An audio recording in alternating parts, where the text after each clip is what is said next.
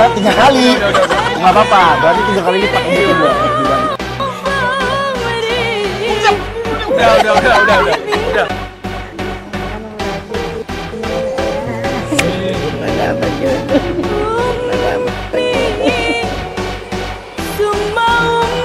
Assalamualaikum warahmatullahi wabarakatuh. Hai hai me lover di mana pun kalian berada Jumpa kembali dengan channel kesayangan kalian tentunya di channel Helia TV Di sini Mimin akan memberikan informasi terbaru dan terupdate mengenai Lesti Bilar Tapi sebelum ke sana jangan lupa like, comment, serta subscribe-nya.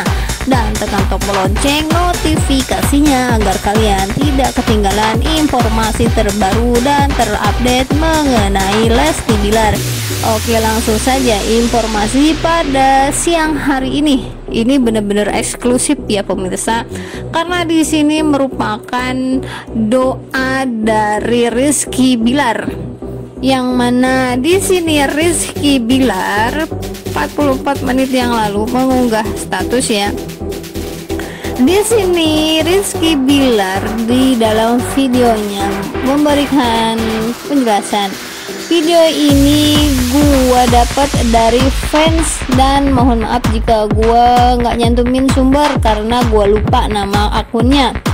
Dan video di atas adalah cuplikan video dari konten YT-nya Ihlam Muhammad 91 yang mana saat itu dia ngonten ke rumah gue di hari ulang tahun gue 12 Juli kemarin lebih tepatnya Ical sempat minta ibu gue untuk kasih harapan ke gue kemudian lalu hal yang pertama beliau katakan adalah semoga dapat jodoh yang soleha ya nak. Karir dan rezekinya makin bagus dan kalimat rezeki dan karirnya makin bagus beliau mengulanginya sebanyak tiga kali lalu dengan sedikit bercanda gua ngerespon udah bu udah tiga kali harapannya itu udah itu itu mulu tapi nggak apa-apa mana tahu bisa berlipat-lipat juga rezekinya. Dan boom doa ibu memang mustajab. Doa ibu memang mustajab Betapa dahsyatnya doa seorang ibu Dalam waktu sekejap karir gue meroket Alhamdulillah. Dan angan-angan yang tadinya gue pikir cuma impian kosong Satu persatu pun terwujud. Lalu kurang lebih sekitar 3 bulan setelahnya Gue mampu beli rumah cash. Dan soal jodoh yang diharapkan ibu gue Gue sendiri belum tahu jodoh gue siapa nantinya. Tapi setelah gue inget-inget setelah gue inget-inget kembali tepat dua minggu setelah doa nyokap gue ketemu dengan wanita yang sampai saat ini masih bersama gue. Dan mudah-mudahan dan bisa jadi dia adalah jawaban dari doa nyokap gue. Dan sampai sekarang pun gue sadar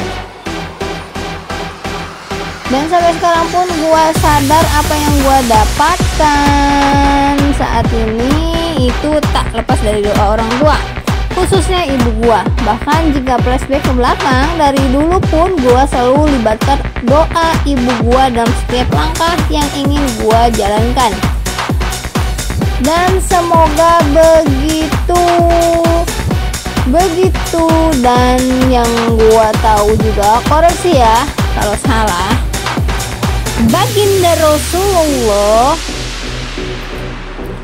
Baginda Rasulullah bahkan sampai mengulang tiga kali ketika ditanya siapa orang yang harus kita hormati di dunia ini? Beliau menjawab ibu, ibu, ibu baru ayahmu.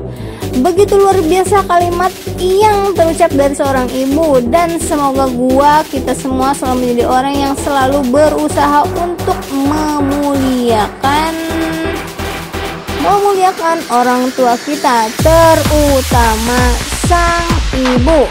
Selamat hari ibu ibuku dan ibu-ibu lainnya di mana pun.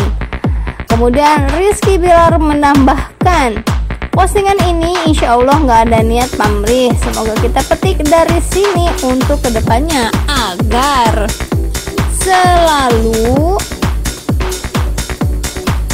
agar selalu memuliakan kita. Amin ya robbal alamin. Dan di sini Harofiza juga Haris Firja juga memberikan komentar doa ibu jangan dilawan. Di sini baru 40 menit ya yang like udah 1039 like. Wow hebat sekali ya Rizky Bilar memang Rizky Bilar sangat memuliakan sang ibu semua kegiatannya dia libatkan Ibu adalah sosok seorang yang bisa membuat kita menjadi lebih baik. Surga kita ada di telapak kaki ibu. Ini adalah pesan moral ya bagi kita semua para fans Rizky Bilar dan Lesti Kejora. Semoga kita semua bisa menghormati ibu kita dan sayang kepada ibu kita. Selamat Hari Ibu untuk kita semua. Selamat siang dan sampai jumpa kembali. Oke, ini saja informasi yang bisa Mimin sampaikan untuk siang ini. Jika kalian baru menemukan channel ini, jangan lupa like, comment, serta subscribe-nya dan tekan tombol lonceng notifikasinya ya, agar kalian tidak ketinggalan informasi terbaru dan terupdate mengenai Rizky Bilar. Selamat siang, selamat beristirahat dan selamat beraktivitas kembali. Wassalamualaikum warahmatullahi wabarakatuh.